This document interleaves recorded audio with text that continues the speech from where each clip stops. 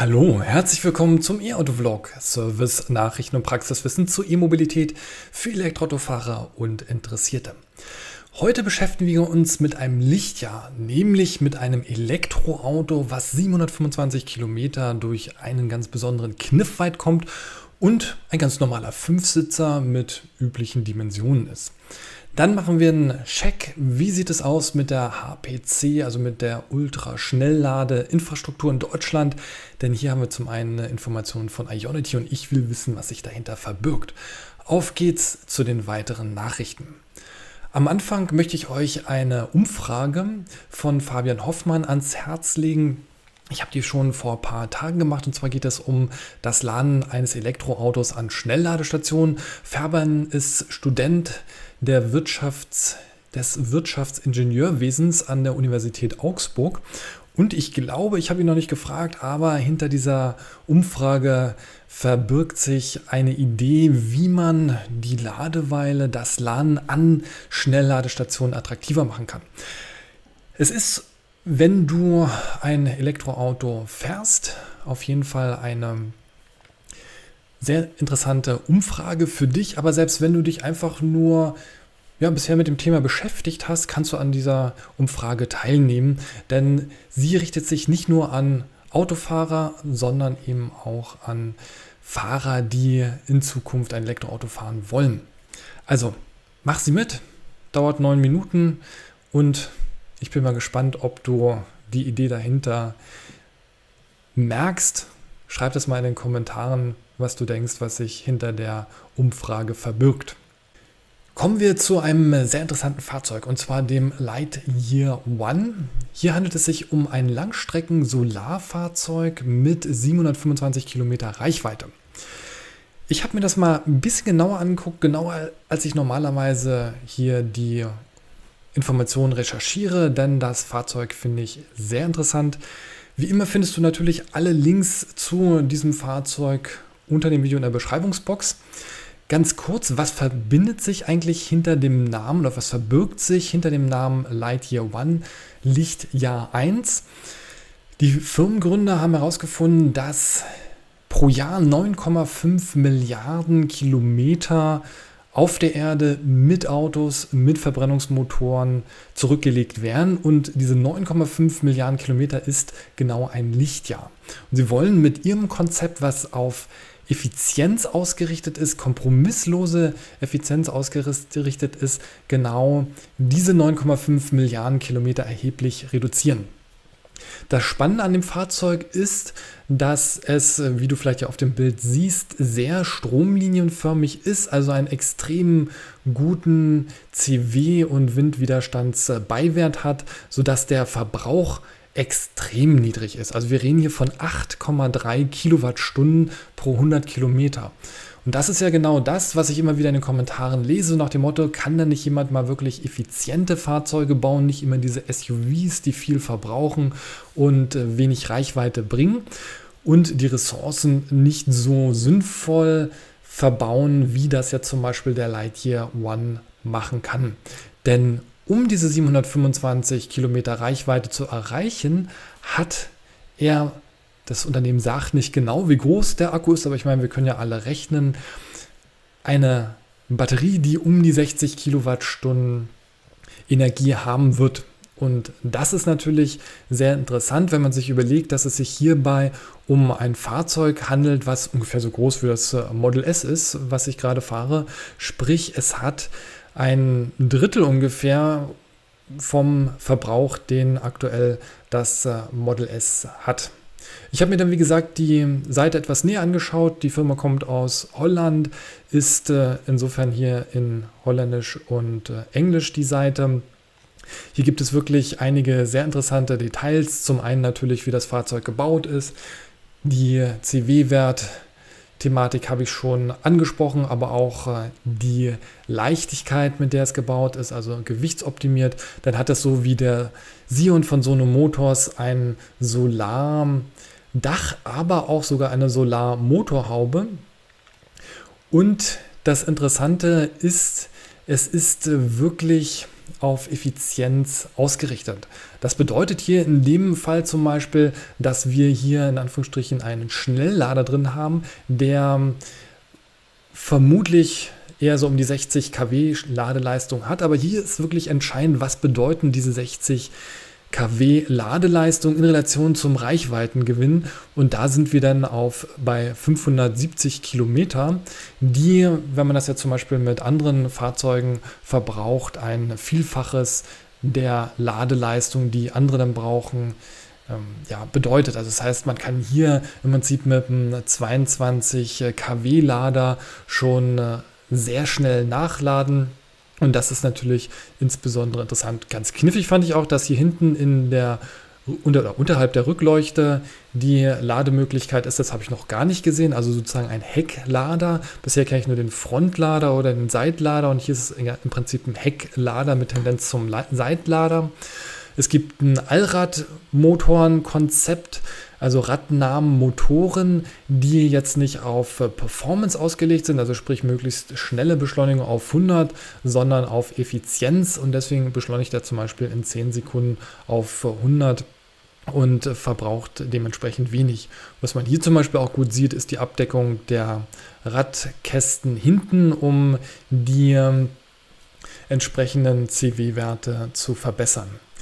Was ich sehr spannend finde, ich gucke mal, ob das jetzt hier schon ist, und zwar kannst du durchaus spürbare Energiemengen über die Solarzellen auf dem Fahrzeug gewinnen. Das ist auch ein bestimmtes Konzept. Das heißt, ich, wenn du dich ein bisschen auskennst mit PV-Anlagen, normalerweise, wenn eine Teilbeschattung der Solar- oder PV-Anlagen besteht, dann äh, gibt es Probleme bei dem Laden.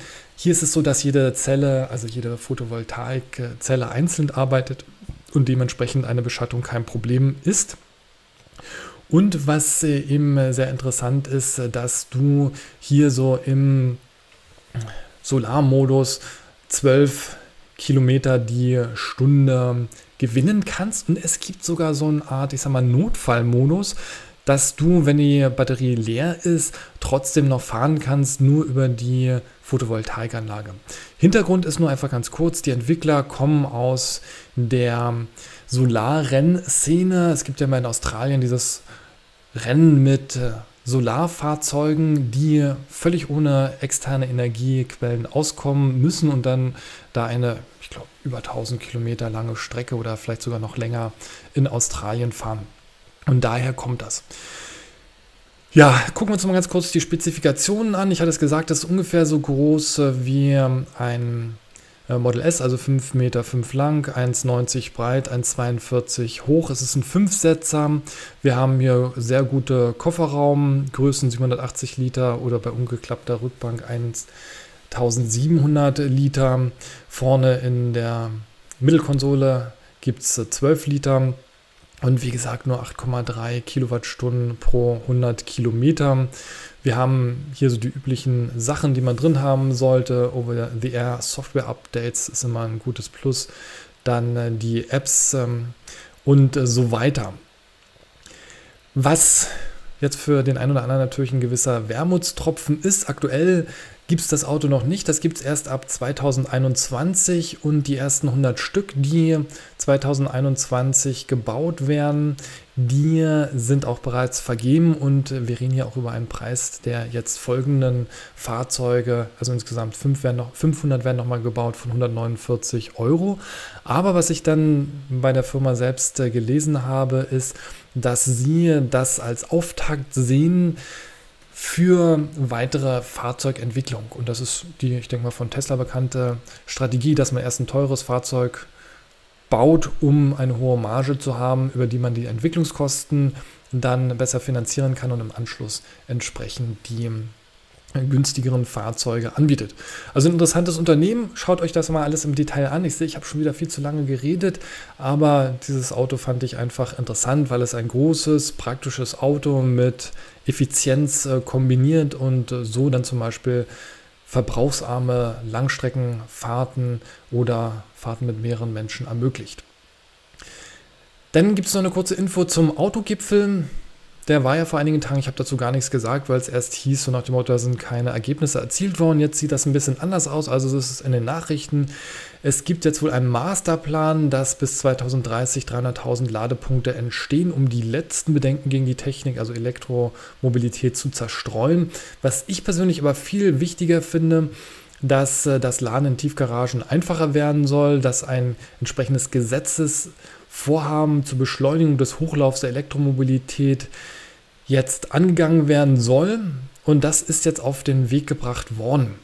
Also ich vorsichtiger Optimismus ist angebracht. Das heißt nicht, dass wir jetzt irgendwie im Laufe des Jahres noch ein Gesetz haben, aber zumindest ist das in der Ressortabstimmung und hier scheint endlich was zu passieren. Das heißt, wenn du zum Beispiel durch deine Miteigentümer daran gehindert wirst, in einem Mehrfamilien-, Mehrparteienhaus eine Ladestation zu installieren, dann ist Licht am Horizont. Hier sollte in Kürze ein Gesetz dir Rückendeckung geben, sodass du als Mieter oder Miteigentümer einer Mehrfamilieneinheit dann endlich die Ladestation bekommen kannst. Ionity ist heute mal wieder Thema. Der Artikel von electrif.net ist sehr interessant. Schaut euch den mal im Detail durch. Hier wird nochmal ganz genau erklärt, wie eigentlich der Aufbau funktioniert.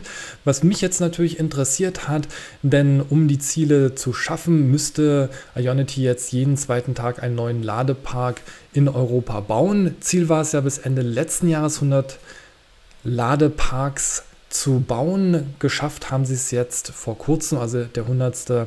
Ionity Ladepark ist ans Netz gegangen. Ich kenne ja auch schon einige und das Interessante ist, wir gucken uns hier einfach mal im Detail das äh, an, dass er zum Beispiel auch, das ist natürlich für mich persönlich interessant, in der Nähe von äh, Kiel endlich ein Schnelllader ist.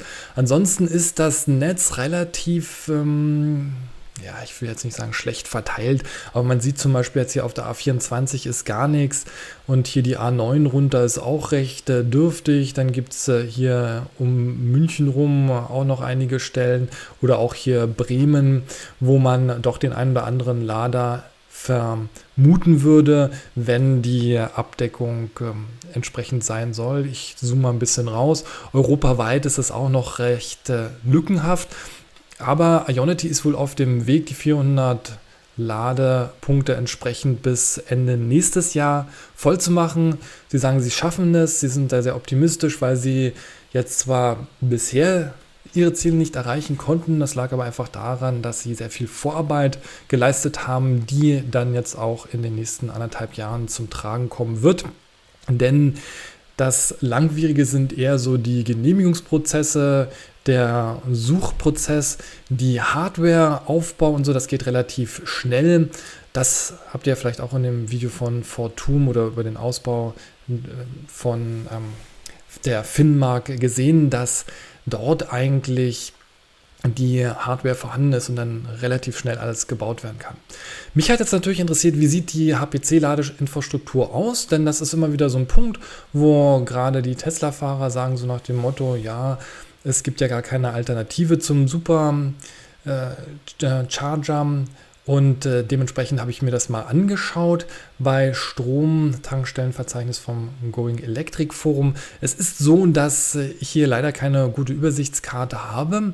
Ich habe euch das einfach mal so aus dem Blickwinkel rausgesucht. Ich habe alle Schnelllader mit mehr als 100 kW Ladeleistung genommen, dass man so ungefähr sieht, wo was ist. Also wenn man jetzt sich zum Beispiel die Strecke, ich bin ja viel vorletztes Jahr von Kiel nach Berlin äh, gependelt, anschaut, sieht das schon recht gut aus. Wir haben hier an der A1 zwei ähm, Ultraschnelllader. Wir haben bei Wittenburg mittlerweile auch zwei Ultraschnelllader. Das direkt neben dem Supercharger. Der Fastnetz Lade, Fastnet Lade Standort aufgebaut worden und auch vorne ist von der Telekom eine Schnelllademöglichkeit direkt an der Autobahn. Dann haben wir hier am Kreuz Wittstock-Dosse ein Schnelllader und äh, in Berlin haben wir auch. Also das heißt, man sieht, die Abdeckung wird immer besser. Hier um Bremen rum ist es nach wie vor dünn, aber auch so über Deutschland verteilt sieht das mittlerweile relativ gut aus, wenn man sich nicht nur auf ein Ultraschnellladenetz verlassen muss, so wie ja zum Beispiel Ionity, sondern eben halt auch Fastnet mit dabei ist, äh, Ultra E, Mega E und wie sie alle heißen. Denn die kommen jetzt auch alle aus den Startlöchern und bauen das äh, Ladenetz auf. Insgesamt ist meine Erfahrung so, dass die Ultraschnelllader zuverlässiger sind als diese typischen Triple Charger, die man in den Autobahnen findet. Hier habe ich doch weniger Ausfälle und der Support ist besser erreichbar. Allein schon so kleine Details, um die Ladesäule zu starten. Das geht viel schneller als an so einem Triple Charger. Da dauert das ja, ich werde es nicht übertreiben, aber zwei, drei Minuten kann das teilweise echt dauern, bis dann das Linux-System wieder von null hochfährt. Und an so einem HPC-Charger dauert das keine halbe Minute. Und das ist natürlich schon ein erheblicher Unterschied. Also insofern bin ich vorsichtig optimistisch, dass die Ladeinfrastruktur bei den Ultraschnellladern deutlich besser wird und man im Laufe des Jahres, aber auf jeden Fall im Laufe des nächsten Jahres hier eine wirklich gute Abdeckung hat. Und das ist natürlich auch für die Tesla-Fahrer interessant, die dann CCS laden können an den entsprechenden Ultraschnellladersäulen und äh, so natürlich viel mehr Flexibilität zum Supercharger-Netzwerk haben. Dann noch ein paar Zahlen. Zum einen gibt es die neue Informationen, wie hoch der Anteil der erneuerbaren Energien ist am Strommix. Das sind jetzt 44 Prozent für das erste Halbjahresrekordjahr. Jetzt weiß ich natürlich gleich wieder, dass mehrere Kommentare kommen werden, so nach dem Motto, ja, aber du kriegst ja deinen Ökostrom gar nicht, weil der im Stromsee landet und 56 Prozent durch Kohle, Atom und so weiter generiert werden. Das ist richtig, aber je mehr Ökostrom in den See fließt, desto mehr wirst auch du, obwohl du gerne aus dem Kohlekraftwerk die Energie haben willst, Ökostrom bekommen, denn da kannst du dich nicht gegen wehren, genauso wie wir uns nicht gegen den Anteil der fossilen oder aus nicht erneuerbaren Energien erzeugten Strommengen als Ökostromkunden wehren können. Insofern ist es gut, je mehr Ökostrom wir hier haben und dass wir dann entsprechend auch dafür sorgen, dass er zuverlässig und auch kontinuierlich kommt und dementsprechend eine gute Zahl, denn letztes Jahr waren es äh, um die 40 Prozent, also es geht aufwärts. Dann noch eine andere Information darüber hatten wir auch öfter mal in letzter Zeit diskutiert. Und zwar geht es mir hier um äh, die Förderung von Diesel. Es war ja immer mal wieder die ähm, Diskussion, wie sieht das eigentlich aus mit Elektroautos? Ist es günstiger oder teurer als ein Diesel? Das Problem ist, die ähm, beiden, ich sag mal, Kraftstoffarten werden völlig unterschiedlich gefördert. Hier haben wir als Information aus einem 10-Punkte-Plan von Stefan Kühn und Cem Özdemir die Information, dass in den letzten zehn Jahren Diesel mit 76,5 Milliarden Euro subventioniert wurde, während im gleichen Zeitraum abgasfreie Technologien nur mit 5,2 Milliarden gefördert werden. Und da sieht man einfach, wie groß das Ungleichgewicht ist, denn abgasfreie Technologien haben wir alles mit drin, auch zum Beispiel Wasserstoff und äh, Co die entsprechend hier insgesamt mit Elektromobilität nur mit 5,2 Milliarden subventioniert worden sind. Was hier natürlich nicht drin ist, das würde mich noch interessieren. Ich habe jetzt nicht die Zeit gehabt, das noch ausgiebiger zu recherchieren. Also wenn du Lust hast, mach das gerne, ergänzt das über den Kommentar, wie viel Einnahmen die Bundesregierung über die Mineralölsteuer hatte und wie viel Einnahmen die Bundesregierung über die Stromsteuer hatte.